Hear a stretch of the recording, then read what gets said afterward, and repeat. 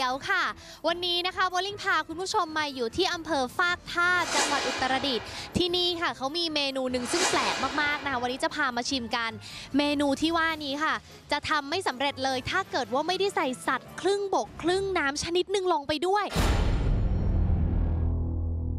ที่สำคัญนะคะคุณผู้ชมต้องเป็นตัวอ่อนด้วยค่ะ ว่าแต่จะเป็นตัวอะไรและทำไมถึงต้องใส่ไอ้ตัวนี้ลงไป ถ้าอยากรู้เดี๋ยวตามไปดูกันเลยค่ะ และตอนนี้นะคะโบลิงก็พาคุณผู้ชมมาอยู่กับชาวบ้านอำเภอฟากท่าเรียบร้อยแล้วค่ะ และข้างๆคือผู้ใหญ่ไกลวันค่ะ สวัสดีค่ะ ครับ สวัสดีคสรับ วัสดีทุกคนด้วยนะคะ สวัสดีค่ะ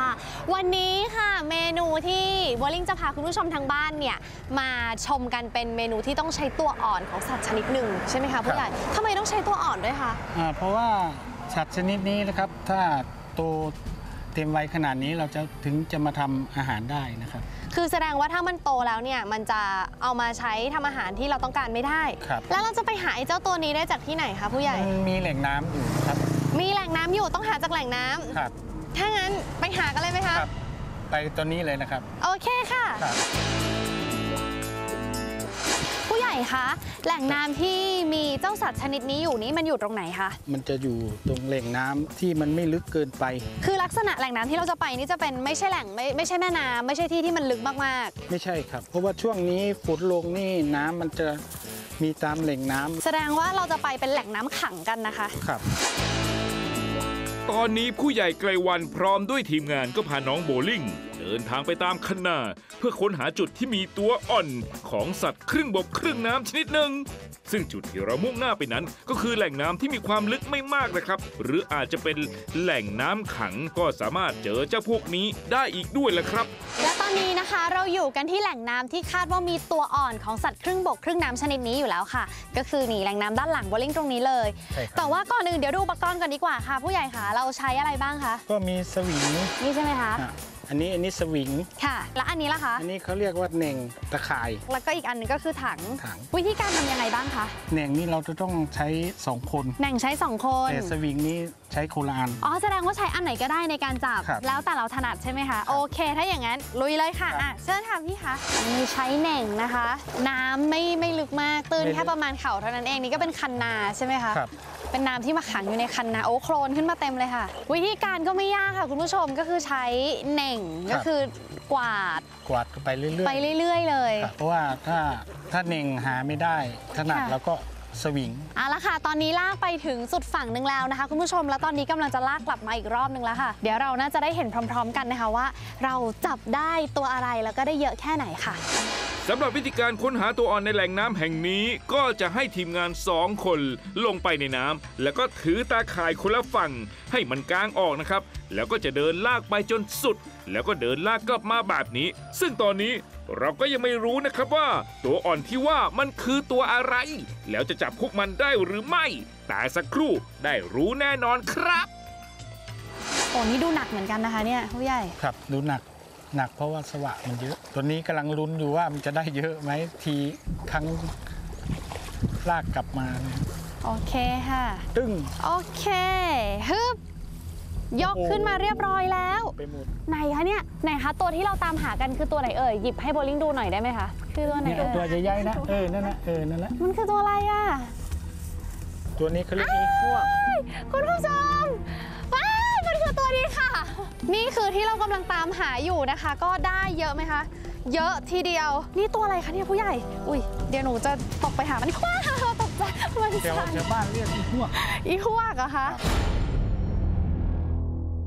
มันเป็นตัวลูกออสของลูกกบ ลูกออสหนูยืมมือผู้ใหญ่ได้ไหมคะ ได้ ผู้ใหญ่แบมือหน่อยค่ะ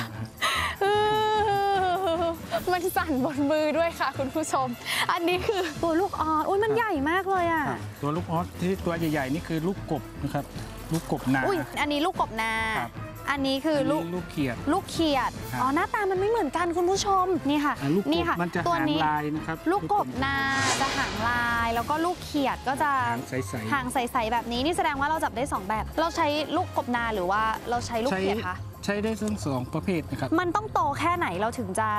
ใช้ได้คะถ้าเนี่ยโตกว่านี้เราก็ไม่ใช้มันครับ เพราะมันจะเป็นกบเป็นเขียดไปแล้ว แต่ถ้าอ่าตัวรุ่นนี้เราทำอาหารได้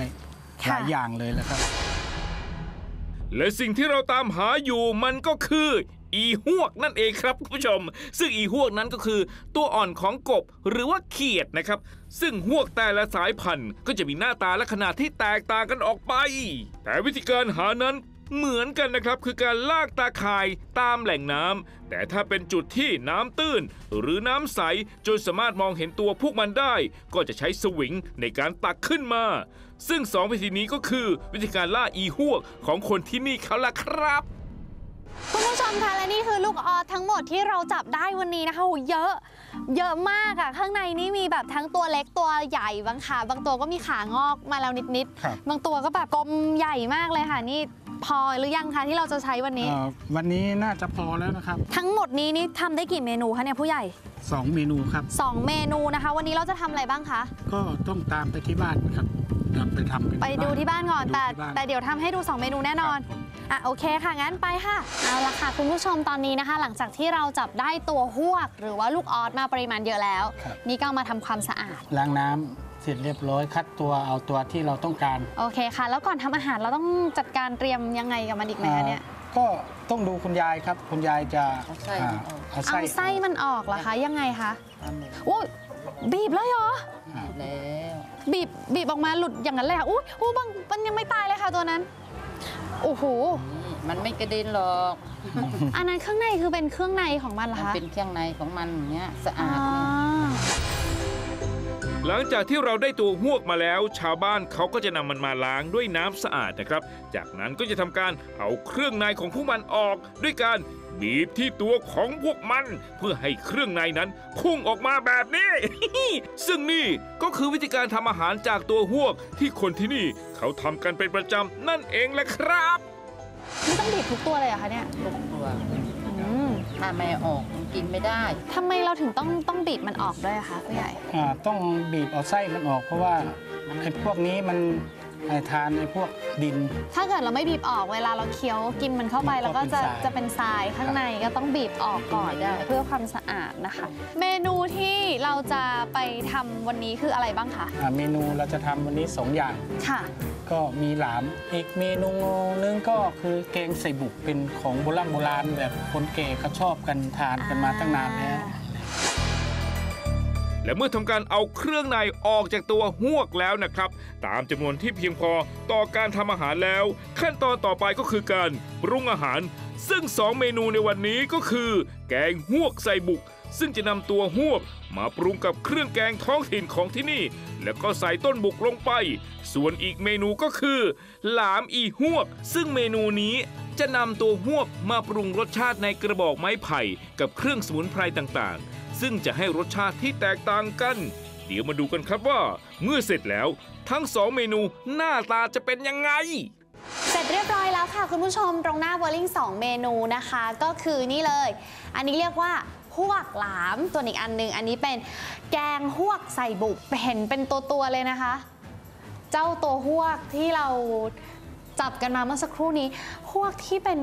กบกับหวกที่เป็นเขียดรสชาติมันเหมือนกันใช่ไหมคะเหมือนกันครับรสชาติจะเหมือนกันอะโบลิ่งตักให้ผู้ใหญ่ก่อนเลยนี่ค่ะ ผู้ใหญ่ค่ะเชิญค่ะ ขอบคุณครับเป็นยังไงบ้างคะรสชาติเราต้องสัมภาษณ์คนในท้องที่ เยี่ยมสุดๆเลยครับ เห็นเราใช้คัดเลือกพวก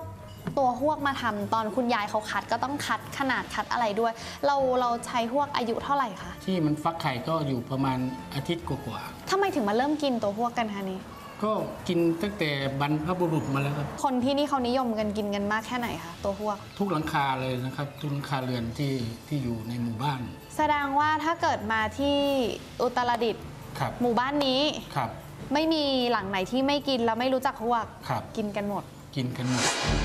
เรียกได้ว่าเมื่อทำการปรุงเป็นอาหารจนเสร็จแล้วนะครับ รสชาติจะเป็นยังไงไม่รู้นะครับ แต่ที่รู้ก็คือทั้งสองเมนูนั้น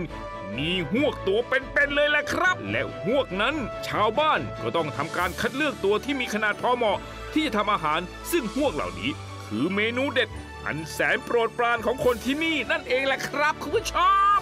เป็นยังไงกันบ้างคะกับเรื่องราวของหวก เมนู ตัวอ่อนสัตว์ครึ่งบกครึ่งน้ำนะคะ ซึ่งชาวฟากท่าเนี่ยเขาชอบกันมาก ๆ เลยค่ะ คุณผู้ชม ต้องบอกนะคะว่าเป็นวิถีชีวิตของคนที่นี่ที่เขาเสาะแสวงหาวัตถุดิบในท้องที่มาแปรรูปมาทำเป็นอาหาร ซึ่งก็เป็นวิถีชีวิตของคนที่นี่และจากที่เห็นค่ะ เขาชอบเมนูนี้กันจริง ๆ ค่ะ คุณผู้ชม แล้ววันนี้นะคะก็ต้องขอบคุณผู้ใหญ่นะคะ แล้วก็คุณยายด้วยนะคะที่มาทำเมนูเหล่านี้ให้กับพวกเราได้เห็นได้ชมกันขอบคุณมาก ๆ เลยค่ะ ขอบคุณค่ะ และวันนี้วอลลิงขอการันตีว่าเมนูตัวอ่อนครึ่งบกครึ่งน้ำอึ้งทึ่งเสียวค่ะ